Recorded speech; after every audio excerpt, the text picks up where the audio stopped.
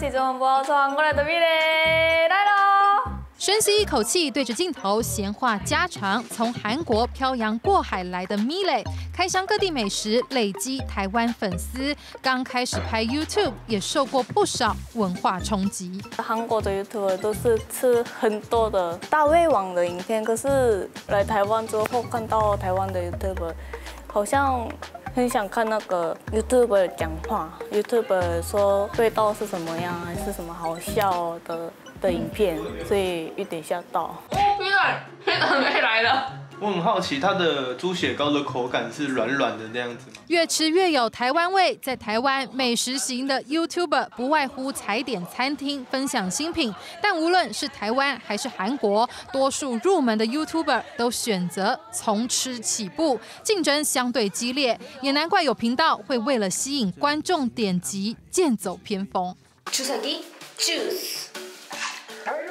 你有看过那种？哦有看过，很多人看，所以我看过。好像喜欢看一般人不会吃的东西，好像小孩喜欢看那个现实没有的东西嘛，就是奇怪的什么蓝色的奇怪的食物。嗯嗯嗯，竞争很激烈，压力很大。好，在韩国吗？一定会。如果是为了点阅率，这些影片能创造多少营收？像这个韩国频道在二零一八年成立，已经累积一百四十亿的点阅，那可以赚多少钱呢？根据韩国媒体推估的直播 YouTube 收益 Top Thirty。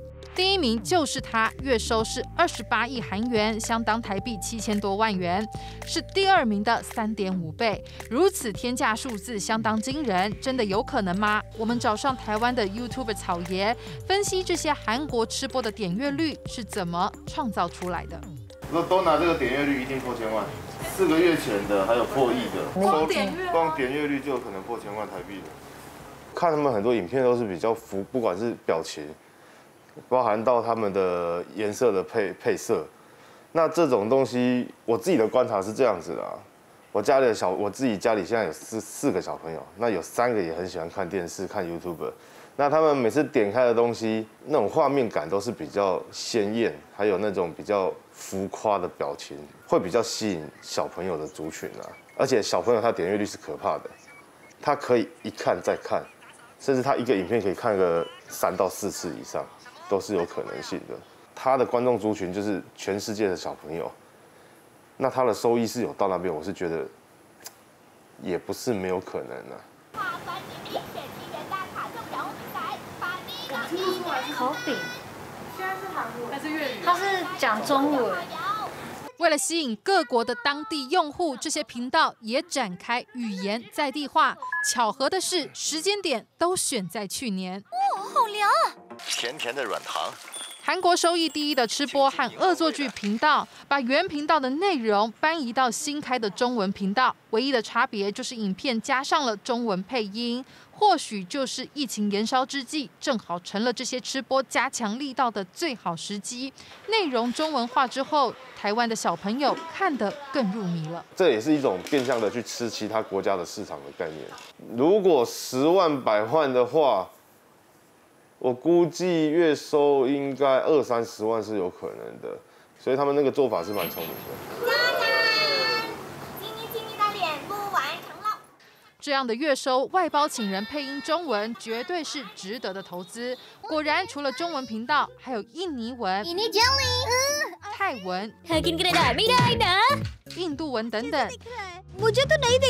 既然 YouTube 不会挡，当然继续赚。身为使用者，若想避免被类似影片骚扰，最好的方式就是封锁频道。但难免会有漏网之鱼，加上网络世代的孩子，手机拿了就会自己操作，根本防不胜防。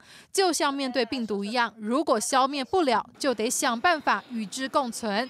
专家认为，当儿童有了自主选择和思考能力时，就是可以教育媒体素养的时候。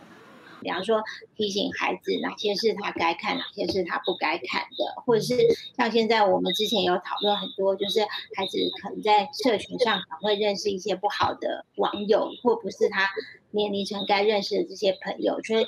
怎么样跟孩子沟通？什么是陌生人？什么是真的朋友？我觉得再把平板或电脑交给孩子，其实是一个很简单的动作。可是，在这之前，其实有很多更需要做亲子沟通的部分。所以，我们当然也是提醒家长，就是要密切注意，而且要跟孩子说，无论遇到什么样的事情，家长永远是你的后盾，就是不是只有骂。如果孩子跟家长互动，就是他遇到什么事情都一直被骂，那家长那个孩子就会更不想把事情。请告诉家长。对心智尚未成熟的孩子们来说，无法分辨这是不是适合他们看的内容。带孩童认知识别，成了照顾者的责任。我可能会带领他是讨论，说：“哎，你觉得如果是你被喷到这样子的胶水，你会有什么感觉？”他们可能说：“哎呀，好恶心哦！”我说：“对。”可是你看，为什么影片中没有觉得很恶心？就代表这是影片里面的效果，不是生活中出现的事情。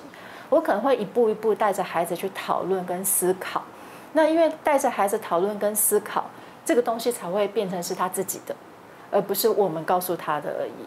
那我们就带着孩子去思辨，不管未来对他们的影响是什么，至少我们在这个阶段先帮他建立一些基础了。那未来五年一定还会有各种推陈出新的影片出现，不是我们现在可以想象的。那如果今天这个东西可以吃，你可以拿来丢人家脸吗？不行，对不对？家长可能会用自己的手机，好让小朋友浏览 YouTube。那如果在账号安全性上面的话，可能就是说，他可能在账号密码的设定上要注意，可能要用比较复杂的密码。其实我们看过蛮多家长，就是把手机跟电脑丢给小孩的时候，他完全没有去沟通，哦没有告诉他哪一些网络的守则。那其实这个部分本来就应该在孩子使用手机之前，就是先告诉他提升他的网络素养。那哪一些影片不适合浏览？那这个部分其实就要跟他沟通。好，这是网站内容部分。那再来就是时间管理这一块，我们是建议说家长可以跟孩子沟通一个类似就是每日上网时间的时间表。当照顾者仰赖三 C 之时，最好也能列出一套使用规范。身为全球最大的影音平台，YouTube 在二零二零年上线台湾版的 YouTube Kids，供三到十二岁的儿童使用，也额外提供家长监护功能。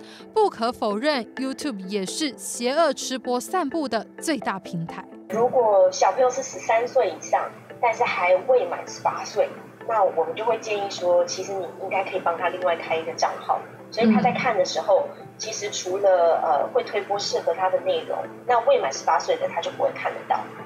天下没有白吃的午餐，YouTube 毕竟是盈利赚钱的私人企业，它不是教育平台，也并非政府机关。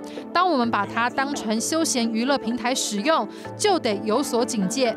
一旦贪图方便松懈，赔上的可能是孩子的成长发育。